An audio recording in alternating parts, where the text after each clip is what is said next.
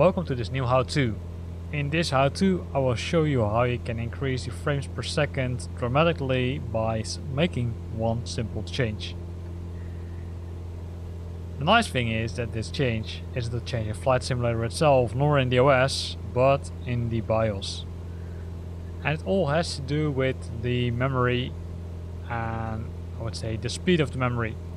Keep in mind that you can't make this change uh, I would say with all configurations because it depends on the hardware. For example, your memory modules need to be compatible with the XMP uh, modes and also your uh, CPU needs to be able to handle that piece. So as you currently see uh, I'm flying above uh, Rotterdam and you can see that it's mainly limited by the main thread. Right, so keep it in mind we're roughly at uh, 28 29 frames so now let me show you what setting you need to change in the BIOS. Before making the change, you need to confirm if your memory is really suitable for making the change. And you can do that by using a program called CPU-Z. I will post the uh, link to uh, where to download the program. Once the program has uh, started, you can go to memory and it will show you uh, the memory type, uh, the size of the memory, uh, the channel and the uncore frequency. Now I already changed the setting in my BIOS so mine's already running on the correct speed but if you didn't change this it will run at a much lower speed. In my case it was approximately 500 megahertz less compared to uh, the value shown currently. So how do you figure out if your memory is supporting uh, the nice feature? Well you need to go to the uh, memory bank where the uh, memory module is located, in this case uh, slot 2. And there you will see the speed extension and then the version to which it's compatible with. This is the max version it's compatible with. And here below you can see that if it's if XMP is enabled, it will run at a maximum of 1600 megahertz, while if I would say the normal mode is activated, it runs at uh, 1066, right? So you can see it, I would say, will bring you a lot of more uh, speed to the memory. Uh, keep in mind that the memory uh, needs to be suitable, but also the CPU must support it. And of course, last, last thing, I forgot to mention it earlier on, is that the BIOS needs to, to support it. So let's have a look what you need to change in your BIOS. So I've got a Aorus or a Gigabyte uh, mainboard and in the tweaker set setting or in the tweaker option, there's a, an option called Extreme Memory Profile XMP.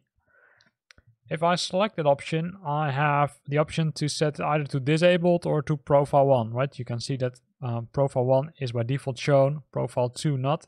I think that's to do with some protection because uh, you can also go to the advanced options, which will allow you to make, I would say, other changes so you change it to uh, profile 1, as you can see in this screenshot, and then eventually, when enabled, you see that the extreme memory profile is now set to profile 1, and then shows DDR uh, 3200 and then some other values like the uh, clock rate and the uh, voltage, etc. Once you made that change, hit save and exit, uh, and then simply start Flight Simulator. So let's have a look what the difference is. So we're back on the same airport, same airplane. So let's uh, remove the parking brakes and let's uh, try to take off. As you can see, frame rate has changed a bit, a small bit, but it's at least a few frames more than previously. So now let's try to fly to uh, the city. See it's still not 100% fluent. I say 100%, I would say fluent. It goes better, right? So let's fly to the city and let's see if it has improved.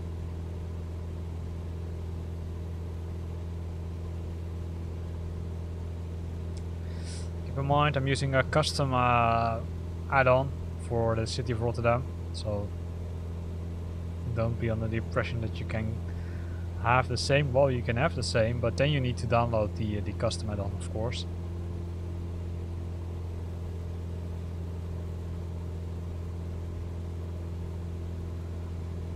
So currently at uh, 33, 40, 34.